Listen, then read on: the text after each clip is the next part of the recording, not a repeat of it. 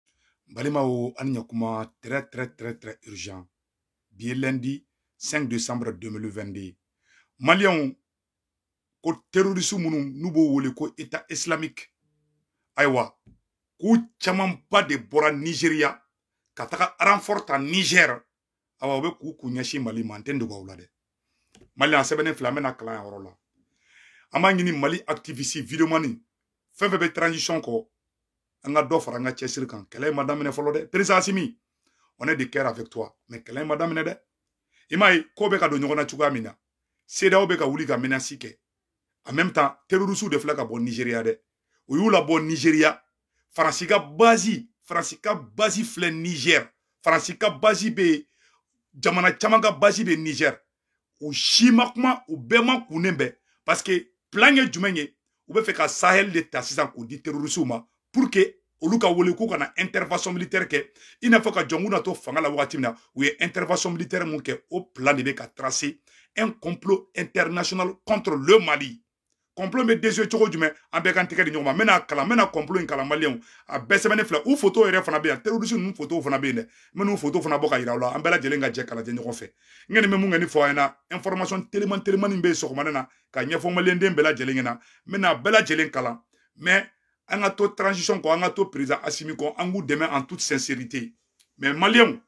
an k'an cɛ siri kɛlɛ in ma daminɛ fɔlɔ dɛ walahi kɛlɛ in ma daminɛ fɔlɔ tubabu fɛ mɔgɔ mɔgɔ tubabu le i m'a ye kara u ye mun kɛ karafin na cɛ cɛw lebu u y'a bɛɛ détruit an bɛ dugawu de ka ala kana asimi k'u sago ye maliyɛnw anw ni an ka jɛ an ka kalan ɲɔgɔn fɛ a bɛɛ sɛbɛnnen filɛ a yɔrɔ la u foto fana filɛ dɛ terorisi ninnu foto filɛ a yɔrɔ la wala u foto filɛ nin u bɛ ka taa yɔrɔ min na a foto bɛɛ filɛ an ɲɛ tɛ terorisi ninnu na an ɲɛ tɛ u camanba den u bɛ ka bɔ ni u bɛ ka bɔ ee nizeriya u ye aranfɔri dɔ ta nizeriya ka na nizɛri awa bɛ k'u kun ɲɛsin mali ma dɛ n tɛ n dɔgɔya o la dɛ awa baara kɛ ni b'an bolo baara b'an bolo ne kɛ ne bɛ n fɔrɔme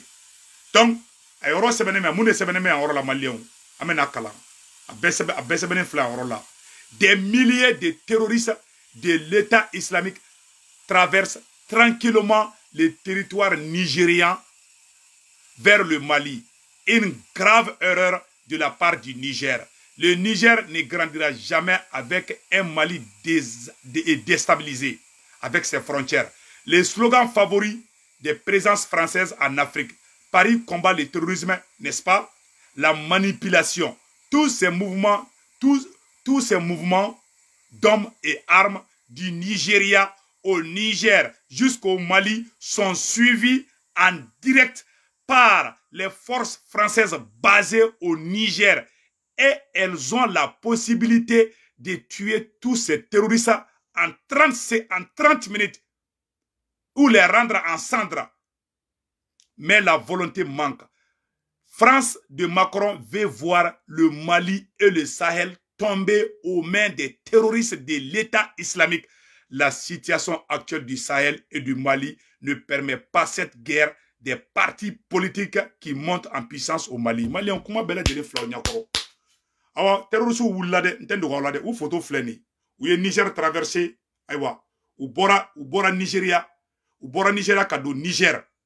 aw bɛ ka na mali la an bɛ kuma kelen dɔrɔn de fɔ perezan asimi ɲɛna le plus vite possible an b'a deli an bɛ fɛn fɔlɔ min fɔ fɔlɔ mali jeune activiste bɛɛ k'a bila kunkolo la maa kelen maa kelen tɛ se ka mali sauver segu tunkara kelen tɛ se parce qu'il faut conseil parce que dɔw dɔw bolo nin ye wari ɲini wagati de dɔw bɛ dɔw bɛ ka sigisagininw kɛ an ɲɛ bɛ bɛɛ la quoi mais c'est le moment an bɛɛ k'an tɛgɛ di ɲɔgɔn ma asimi kelen tɛ se sogɛli kelen tɛ se segu tunkara kelen tɛ se c'est l'ensemble mais n'an bɛ fɛ an ka gagner kɛlɛ in na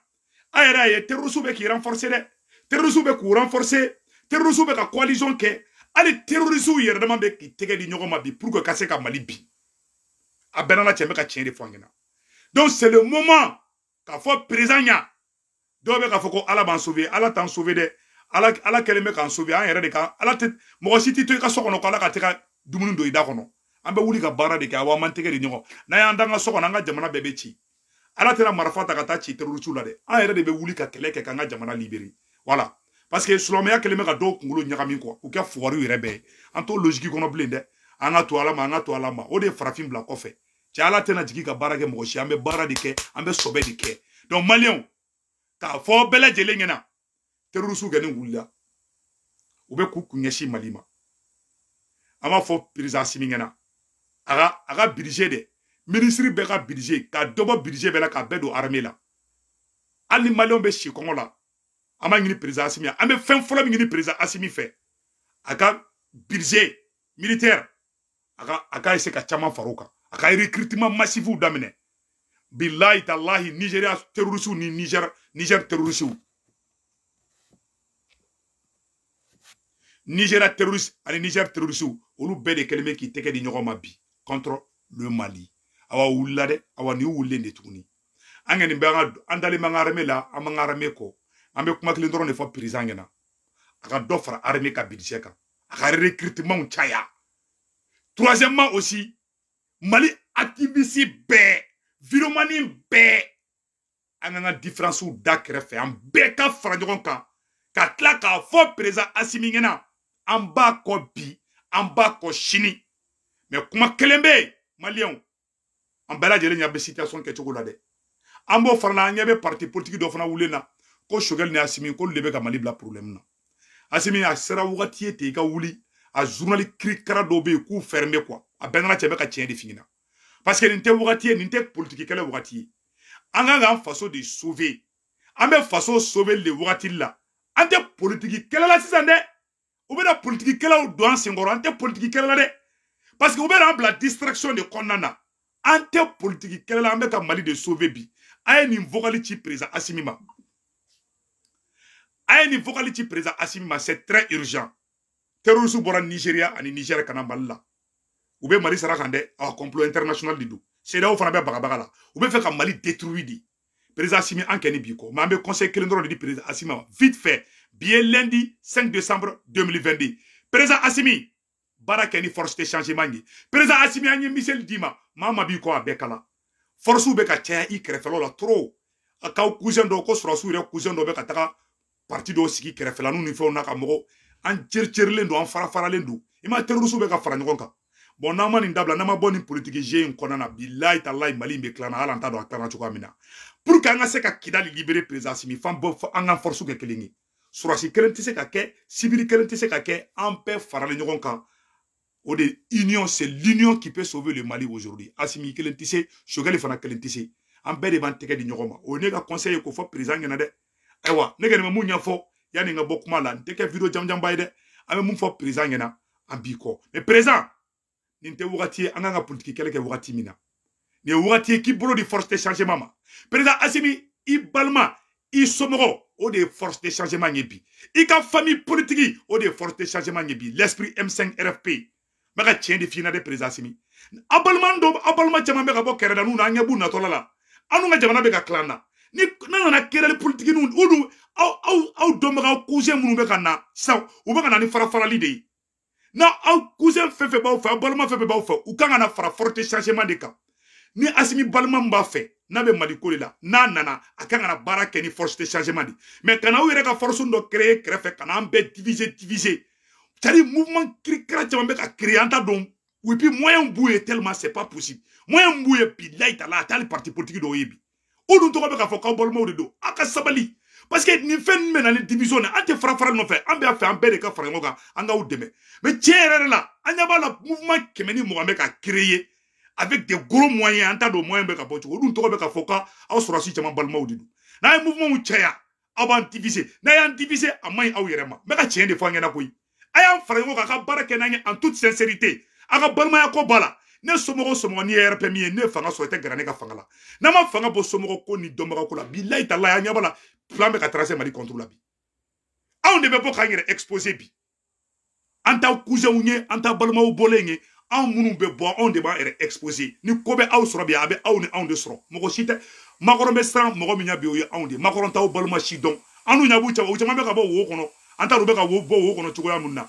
vraiment b'aw deli eremanima minisɛri min bɛ nalen an tɛ fɛ ka fɛ an tɛ fɛ ka mɛn ko asimi k'i balima dɔ taara i balima kura wɛrɛ nana dɛ minnu bɛ a ka da o ma an tɛ fɛ ka mɛn ko sogɛli balima fana nana minnu bɛ a ka da olu ma vraiment on veut vraiment un mali un mali simple quoi vraiment a kana don ze dɔw la an b'aw deli deli de don quoi an b'aw fɛ parce que an tɛ fɛ an ka jamana ka tila an na bilayi t'a la an bɛ ka tiɲɛ de fɔ aw ɲɛna parce que n'a nana don yɛrɛ an yɛrɛ dama ɲɔgɔn cɛ problème man ka na cogoya si de la quoi aw kan ka confiance de créer aw kan ka harmonie de créer n'i y'a ye bi a bɛ fɔ asimi asimi c'est grâce aux forces de changement minnu bɔra le 14 janvier minnu bɔra ka taa premier ministre eh, eh, mayiga kunbɛn walayi ne ni ala na kira cɛ olu de bɛ ka olu de bɛ k'aw sankɔrɔta bi n'a y'olu fili kɔfɛ k'aw ma da olu la ne asimi ni e ma da force de changement na force de changement ma da e la minnu bɛ ka bɔ bi k'aw cousinw de don ou bien aw ka mɔgɔ wɛrɛw don n'u bɛ ka taa mouvement dɔw créer musolakaw b'a la cɛlakaw b'a la olu tɛ se k'aw sauver u da tɛ sɛ la u tɛ se kuma la aw u tɛ se ka foyi kɛ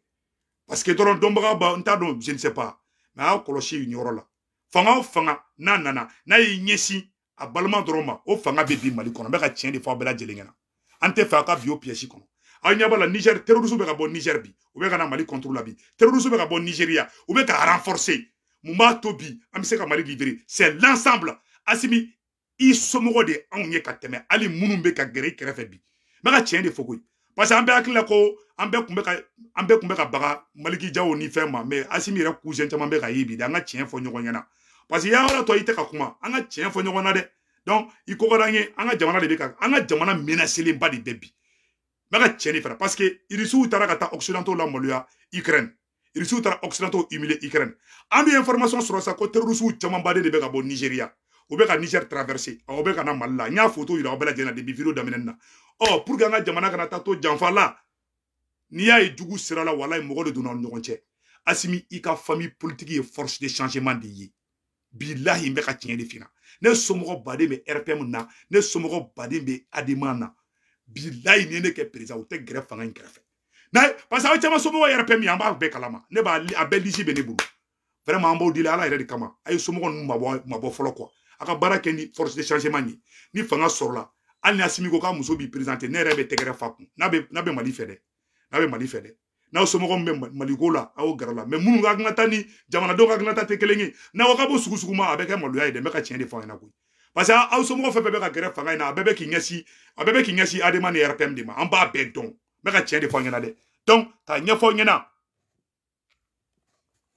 ka ɲɛfɔ ɲɛna jamana de jamana de menaceli don c'est l'existence du mali qui est en jeu aujourd'hui mɔgɔ jumɛn bɛ se ka mali sauver bi président asimi e ni force de changement ni confiance tɛ e ni anw ni ɲɔgɔn cɛ o kɔrɔ kɔ ye mali ko bannen de ye awa mɔgɔ si ni somɔgɔ ma deli ka mali libere mɔgɔ si ni ka gɛrɛnaden ma deli ka mali libere mɔgɔ si ni i dɔnbaga ma deli ka mali libere c'est l'ensemble des forces dignes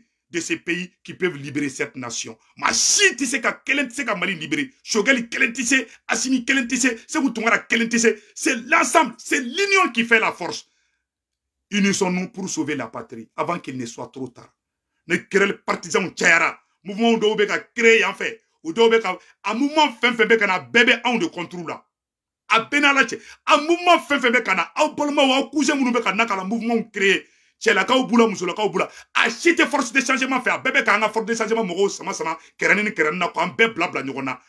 a ye nin dabila nin t'aw arranger dɛ n'i y'a ye n'i y'a ye paul kagame i tora fanga la fo san mugan parce que mɔgɔw de farala ɲɔgɔn kan n bɛ ka tiɲɛ de fɔ n ɲɛna koyi maa si kelen tɛ se ka jamana in libere a président président nana k'i ɲɛsin a somɔgɔ ma a bɛɛ bɔra wo wo fitinin fɛ ATT ye transition kɛ maliyɛnw tɛgɛrɛ fa kun ATT élule ka kɛ président ye ATT nana ATT nana dɔrɔn ka a denmuso bila bila a n'a burankɛw kɛ milliardaire dɔrɔn ATT bɔra woni fɛ IBK fara nana ka Karim Keta n'a ka garanadenw sigi IBK bɔra woni fɛ o bɛɛ leçon de mali ye barika jamana de awa cɛ cɛniya kɛ bɛ bɔ woni fɛ asimi ka d'an ye vraiment an b'a dɔn asimi ni minnu bɛ fa ni ba la asimi ma si kilase ma asimi balima jurujan dɔw de bɛ yen u bɛ ka wuli epi a fɛn fɛn bɛ ka na si u ka u ka mentalité na anw mali kura t'u ka problème ye quoi c'est la pure vérité aw dɔnbaga minnu bɛ ka na aw ka aw dɔnbaga fɛn fɛn bɛ ka na minnu n'aw ka so a si tɛ forte changement fɛ a si tɛ yɛrɛwolo fɛ a si tɛ emisɛn fɛ a bɛɛ bɛ ka na k'olu de kɛlɛ cɛ o tɛ ɲuman ye fanga ma dɛ o tɛ ɲuman ka fanga ma dɛ anw de exposelen don anw de bɛ k'aw defan bi an tɛ fa ni mɔgɔ ka kɛlɛ a y'a fɔ aw balimaw ɲɛna u kana faran kan u kelen tɛ se ka mali libere ko n bɛ ka tiɲɛ de fɔ aw ɲɛna aw somɔgɔw fɛn fɛn kan ne b'a bɛɛ dɔn a bɛɛ nisi bɛ ne bolo aw aw si tɛ changement fɛ a si tɛ force de changement fɛ aw an tɛ mɛ an tɛ fɛ ka mɛn fana tuguni ko gouvernement kura bɛ ka sigi ko surasiw ka balimaw bɛ ka na na na na na a ye parce que fanga y'an bɛɛ de ta ye an ka tiɲɛ fɔ ɲɔgɔn ɲɛna quoi parce que jamana bɛ ka menacer bi parce que n'a yɛrɛ dama ma bɛn ni fanga ni ni mankan kiri parce que en réalité mɔgɔ si tɛ se ka na jamana in mara ni clan ye clan ma deli ka jamana in mara n'i y'a jamana in kuruta ka ca jamana in kɔnɔ clan dɔw de bɛ ka na dɔw bolo k'olu n'u ka clan de bɛ se ka jamana mara n bɛ ka tiɲɛ de fɔ yan clan si tɛ se ka jamana in mara n bɛ ka tiɲɛ de fɔ yan maa si kana i nɛgɛ k'i bila o sira kan c'est la pure vérité gouvernement ka changer ka taga bɛɛ yɛlɛma ka kaw aw aw dɔnbagaw a ye baara kɛ jɔn bɛ k'aw sauve bi jɔn kɛlen bɛ k'a yɛrɛ exposer bi o ye o ye force de changement mɔgɔw di bɛn de cerveau b'o la segu tunkara b'o la ee ee ee abakasiriki fanba docteur abakasiriki fanba docteur alayibokum ani jɔn ani amara silaziri sɛrisɛri gandi maliyɛn kati 24 an bɛɛ de kan ka fara ɲɔgɔn kan n'aw balima min b'aw fɛ a bɛ mali fɛ a y'a fɔ u ka na an bɛɛ ka fara ɲɔgɔn kan an ka mali jɔ mɛ u bɛ ka taga fɔrɔsu paralɛliw de kereye kɛrɛfɛ cɛ jamana ma deli ka jɔ tancogoya la dɛ u bɛ ka nɛgɛ ka kɛ walayi balima balima b'aw fɛ u kan ka na fara anw kan de ni balima min bɛ ka parce que i b'a dɔn mɔgɔ caman bɛ bi a bɛ b'u somɔgɔw de la i m'a ye karim de i bɛ ka bi i m'a atete denw de atete bi ba afiriki problème bɛɛ de filɛ bilayi talayi hali bɛ to ameriki ka wari ci somɔgɔ dɔ ma mali la ni min kɔlɔsi a b'i ka an bɛɛ ka problème y'an an ka pɔrɔsiw di u tɛ dɛmɛ an sincérité u bɛ na u yɛrɛ ka intérêt de la u yɛrɛ bɛ nafa sɔrɔ min na parce que n'an bɛɛ farala ɲɔgɔn kan dɔw t'u ka intérêt sɔrɔ ni dɔw ye dogodogonin dogodogonin ko kɛ dɔrɔn kɛrɛfɛ koni kɛ dɔrɔn u bɛ wariw sɔrɔ o la u bɛ fɛn caman sɔrɔ o la mɛ n'an bɛɛ farala ɲɔgɔn kan ni mun ko k'a bɛ jɛgɛ wo ye o tɛ faraɲɔgɔnkan tɛ dɔw arazi bɔn ni an tan ke faraɲɔgɔnna ma kɛ mali in bɛ tilanna an tɛ kidali sɔrɔ awa n'an kɔlɔsi an bɛ mali an bɛ mali nɔrɔ an b'a pɛridi perezan asimi ni cɛ tɛ nin finna ne de filɛ ka fina bi epi n'a b'an dɛmɛ a kana dɛmɛ kaba an bila an yɛrɛ ma a kana kɛ dɔrɔn n'a bɛ mɔgɔ min dɛmɛ o ka tɛgɛrɛ faw kun ou bien a b'an dɛmɛ a y'an dɛmɛ an bɛ an fana bɛ k'aw dɛmɛ an bɛ ɲɔgɔn dɛmɛ de ɲɔgɔn ɲɔgɔn dɛmɛ kɔrɔ tɛ aw ka sanu ni wari d'a ma dɛ ɲɔgɔn dɛmɛ kɔrɔ min an ka sigi ka hakilina jagabɔ de ka jamana kura jɔ mali bɛ se ka sobe cogoya min na ne bɛ ka tiɲɛ de fɔ aw ɲɛna aw balima minnu bɛ ka na u tɛ changement mɔgɔw ye dɛ an b'a bɛɛ dɔn an b'u tɔgɔ n'u jamu dɔn n bɛ ka tiɲɛ de fɔ aw ɲɛna a ma fɔ fana ko fɔrɔte changement kelen ye maliyɛn fana ye aw n'aw de jɛra ka kureta in kɛ ni mɔgɔ min bɛna fara aw kan n'aw kusenw don aw kusininw don u ka n'an bɛɛ kan tɛgɛ di ɲɔgɔn ma ne m'a fɔ n ko fɔrɔdesasema kelen ye n ko fɔrɔdesasema kelen bɛ don dɛ mɛ ni aw balima min bɛ fɛ ka na fara aw kan transition na u ka na u n'an ka ɲɔgɔn ye an bɛɛ ka jɛ ka baara mun an bɛɛ tɛ fara ɲɔgɔn kan mun olu bɛ taa fɔrɔsi dɔ kere ye mun olu bɛ k'an kɔnkirasi u ma u bɛ u dalen b'u ka soni kɔnɔ u tɛ baara la u tɛ foyi la an minnu ye minnu ye sanjikɔrɔ wɔsi kɛ dɔw de bɛ parce que dɔrɔn olu ni perezan ka surun parce que an bɛɛ tun y'a daminɛni kɛ ko an bɛ ka jigin an bɛ ka malikijaw akize mɛ asimi yɛrɛ somɔgɔ caman kunkolonin bɛ ka ye sisan an ko tiɲɛ fɔ ne b'a bɛɛ dɔn n b'a bɛɛ tɔgɔ dɔn n b'a bɛɛ jamu dɔn a dɔn a bɛɛ yɔrɔ la n b'a bɛɛ dɔn awa gouvernement kura min sigilen filɛ nin ye gouvernement kura min sigitɔla filɛ nin ye asimi an tɛ a y'a kɛ ala kama a kana nana bɔlimaw ye kuwa parce que a bɛna fanga fanga bɛ baara kɛ ni balima ko dɔrɔn a fanga bɛ a fanga bɛ a bɛ jasi de mɔgɔ bɛ ba ye quoi vraiment an b'aw deli deli yɛrɛ de don quoi ne t'a deli de parce que ne ma nin fɔ maliyɛnw bɛ jigin ne la ne b'aw fɛ dɔ to ne bɛ ka nin fɔ koyi ne tɛ k'aw exposer dɛ parce que ne kumana ji jukɔrɔ de walayi ala ye seere ye ne bɛ kalo naani bɔ ne bɛ ka nin kuma fɔ ji jukɔrɔ ne ni hali sɔrɔsi dɔ yɛrɛ kumana ne ni kolonɛli dɔ kumana nin ko la k'a perefu yira kolonɛliw yɛrɛ la u kolonɛli dɔ ne sigira ka kuma n y'a fana aw balima nin nin nin nin nin nin bɛ nin yɔrɔ la est ce que c'est normal kɔnɔ k'u yɛrɛ bɛ tila ka kuma k'u bɛ retour bɔnni hali sini u ma retour bɔnni ne ta tɛ ko ne ta ye kɛrɛfɛ kuma dɛ ne bɛ nin kɛlɛ la ji jukɔrɔ a ka ca kalo naani ye n taalen mali la tuguni n seerew bɛ n na dɛ n kumana ni sɔrɔsiw ye n ko cɛ aw bɛ ka baara kɛ cogo min n'a man ɲi ɔ n'a ma ɲa k'a bɛ ka taga ne kɔni bɛ bɔ k'a fɔ pibilikiman ne kɔni tɛ ta tɛ kɛlɛ ko ye ne ta ye ladilikan de parce que tiɲɛ yɛrɛ la n kumana ka dɛsɛ kuwa témoin bɛ ne na koyi et puis ne ta tɛ kɛlɛ ko ye mɛ jamana tɛ se ka jɔ ni kalan ye o e y'a jamana jumɛn jɔlen ni kalan ye Fidel Castro dɔgɔnin ma kɛ président Fidel Castro sara dɔgɔnin parce que Fidel Castro dɔgɔnin ye marifa de ta n'i y'i somɔgɔ dɔ nalen f'a ka kɛ a tigi ka ni Asimi muso ye révolutionnaire ou bien Asimi dɔgɔnin dɔ ye révolutionnaire ye hali ni Asimi ko ko k'a remplacer n'a dɔgɔnin dɔ ye n'i révolutionnaire don ne Seku Tunkara bɛ dunun ni bala ta ka Asimi dɔgɔnin fasa da mais aw balima minnu bɛ ka na u t'anw fɛ yɛrɛ bi u t'anw fɛ de an ka tiɲɛ fɔ ɲɔgɔn ɲɛna bilayi talahi u t'anw fɛ u bɛ ka taa force kuraw créer fan bɛɛ division bɛɛ bɛ fɛn bɛɛ bɛ ka kɛ a bɛɛ sɔrɔsiw ka entourage de a y'a fina ala kama an mago bɛ union de la an mago tɛ fara farali la force parallèle bɛ ka créer des gens qui n'ont jamais défendu le Mali olu de bɛ ka dessus ta patriotes kan bi o tɛ hɛrɛ ye jama ma o tɛ hɛrɛ ye jamana ma o ye ne ka o ye ne o ye ne o ye ne ka conseil ye k'o fɔ aw ɲɛna bi n'a y'a mɛn o don mɛ n'an m'a sira bila a bɛ bin dɛ n'an ma sira bila n'an ma balimaw dabɔ sanga ko in na fanga bɛ bin dɛ u b'a ka funɛ ka na awa an tɛ tugu balima kɔ dɛ u bɛna tugu an kɔ dɛ an bɛɛ bɛ jɛ ka baara kɛ ɲɔgɔn fɛ u de nana an sɔrɔ la aw ni anw de kan ka jɛ ka baara bɛɛ kɛ ɲɔgɔn fɛ parce que ne y'a b'a ko na a bɛ ka ne kunkolo kalaya kɔ hali kɔrɔsɛrɛnnaw ka birosigi la u bɛ k'a fɔ k'a simi kusɛn dɔ bɛ yen k'o bɛ ka fɛngɛ dɔw k'a la ne tɛ fɛ ka n da don a fɛn nin na parce que ne yɛrɛ bɛ nin ka maloya parce que ne tɛ se ka transition defan ne y'a bɛ ko dɔ la mun tɛ changement ye ne ka ma kɔ a kan n'u ye n'u ye kangari da ji jukɔrɔ ka dɛsɛ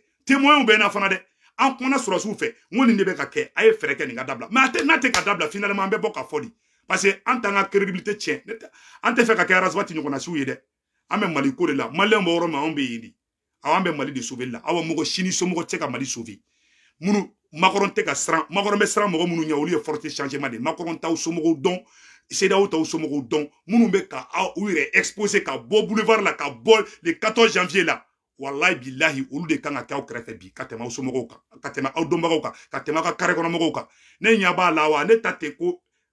ne ta tɛ ko ne ta ye ko kuma ka ca dɛ ni minnu ko kuma ka ca dɔrɔn b'i bloke ka bɔ yen ne tɛ manamana ko la dɛ ne bɛ mali ko la ne tɛ mɔgɔ fasada fana la asimi ka di ne ye ne bɛ k'i sofe de parce que mɔgɔ mɔgɔ y'a kɛ ala y'a bɛɛ malo hali mɔgɔ min kɛlɛ ala b'i kɛlɛ awa asimi ne tɛ fɛ ala k'i kɛlɛ ni ala y'i kɛlɛ don min na mun kɛra saramusɛn na y'o ye mun kɛra karafina y'o ye karafi yɛrɛ balima d'a taara ye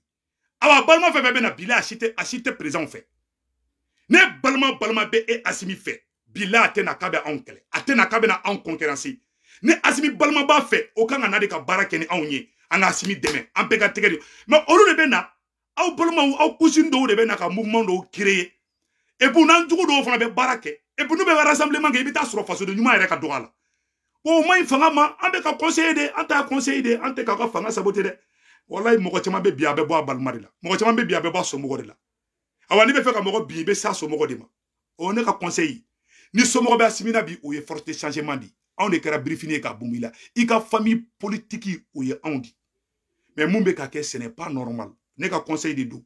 n'i bɛ se ka corriger sa corriger debi sisan dɛ o ye ne ka conseil ye donc maliyɛnw ala ka hɛrɛ kɛ asimi ye asimi ka d'an ye an bɛ fɛ i ka kɛ afiriki sunjata de ye ɲɛ tɛ etat islamique bɛ ka wuli il faut pas k'an ka don jeu politique kɔnɔ an ka fɛɛrɛ kɛ kidali bɛ libere cogo jumɛn dugu bɛ libere cogo min mɛ maa si ni balima tɛ se ka jamana si libere a ma deli ka kɛ n bɛ ka tiɲɛ de fɔ a bɛɛ ni ala na kira cɛ i ka d'an ye dɛ mɛ an ɲa bɛ kunkolo bɔtɔla la awa guvɛrɛman kura mɛna sigi an tɛ fɛ an bɛ fɛ a ka baara kɛ ni fasoden ɲumanw de a kana kɛ ni somɔgɔw ko ye an b'aw deli ala yɛrɛ kama deli de don dɛ bilayi talayi deli de don parce que a bɛ ka accélérer a tɛ ka dabila de quoi caman de bɛ ka fara kan et puis sogɛli nalen fila a ye sogɛli to a k'a ka baara kɛ quoi a y'a to a k'a ka baara kɛ tranquillité la an bɛɛ k'an tɛgɛ di ɲɔgɔn ma ala a n'a kira kama an bɛɛ k'an tɛgɛ di ɲɔgɔn ma an ka mali kura jɔ ne segu kelen tɛ se e asimi kelen tɛ se c'est l'union qui peut sauver le mali aujourd'hui mais n'an yɛrɛ dama kɛlɛ dɔw la an yɛrɛ ma ni ɲɔgɔn cɛ injustice dɔ ka don an yɛrɛ ma ni ɲɔgɔn cɛ ee an ka sabali o ne ka conseil ye que dieu bénisse cette transition ala ka hɛrɛ kɛ transition ye mais ni mun man ɲi an bɛ bɔ an b'o fɔ dɛ ne ka ɲɛ bɛ mun na mun bɛ ka kɛ a man ɲi awa ne bɛ k'a fɔ de ka solution fana fɔ que dieu bénisse le mali